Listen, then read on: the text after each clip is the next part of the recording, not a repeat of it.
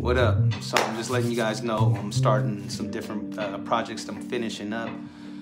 Uh, just finished up uh, New York Fashion Week. Uh, was exciting. Uh, yeah, it was a lot of nerves, uh, a lot of things going on. Just want to document, um, you know, journey, whatever. Back to work.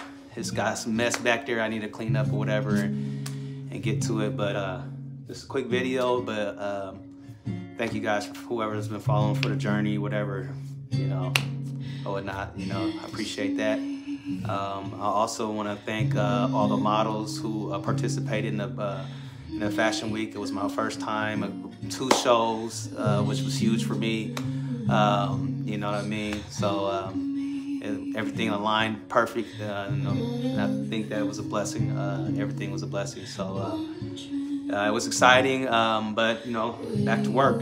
And um, this is my part where I get back into the gym, I shoot my shots and different things like that. I break out my scissors. I start cutting and I start creating. So, and I listen to my music and I let it take me out there and let my mind just free and create art and, you know, and let let the blessings fall down see how, how see how it happen, you know what I mean?